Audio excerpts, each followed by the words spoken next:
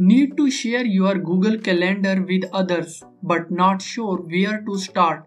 In this video, I will walk you through two simple methods to share your Google Calendar, whether it's with specific people or public. Let's get started. The first thing you have to do is open your browser and then open Google Calendar.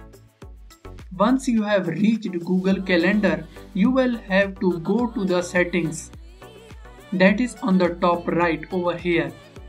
Just click on it. After that, click on settings for my calendars. Select your calendar. For example, I am selecting editor Hamza. After selecting calendar, simply scroll down. Here you will find two options access permission for events, share with specific people or groups. If you want to share your calendar with specific person or group, click on share with specific people or group. Now select people which you want to share your Google Calendar with.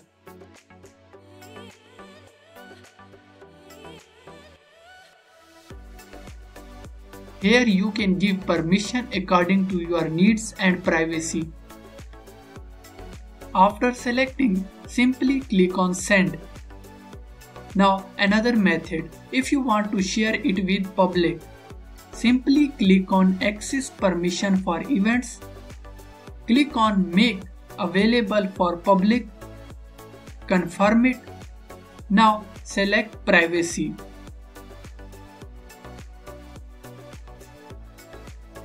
Then click on get shareable link.